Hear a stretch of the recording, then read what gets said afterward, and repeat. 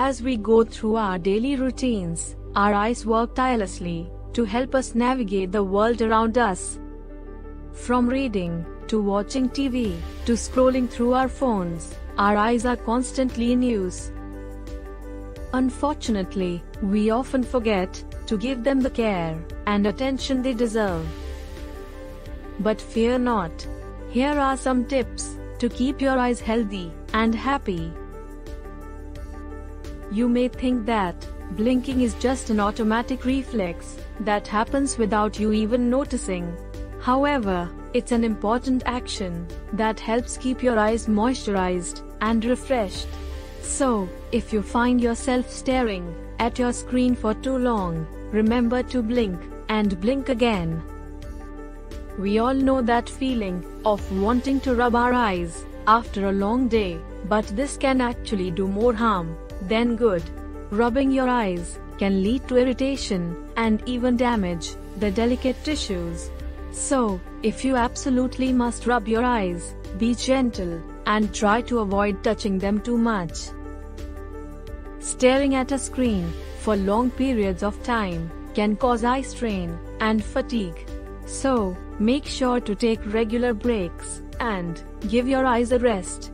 You can even try the 20-20-20 rule. Every 20 minutes, take a 20 second break and look at something 20 feet away. UV rays from the sun can damage your eyes over time, so it's important to protect them with sunglasses. Not only do they look cool, but they can also prevent cataracts and other eye problems. Just make sure to choose a pair that blocks out at least 99% of UVA and UVB rays. A good night's sleep is important for your overall health, including your eyes. Lack of sleep can lead to dry, itchy, and bloodshot eyes, so make sure to get your beauty rest.